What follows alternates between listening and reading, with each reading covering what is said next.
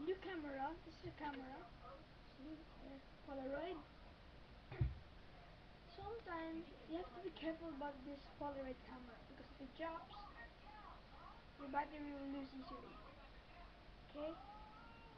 And the other thing I don't like is when you put yourself at night, it makes a huge flash like this. Look?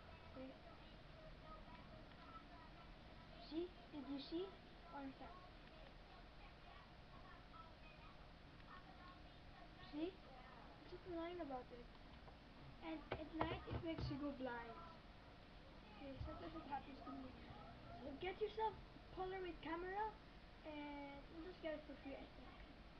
Okay? I got this in America. My mom bought it for $14 or $7 or $200. I don't know. It's really expensive. This is really expensive. Really, really Here it That's what.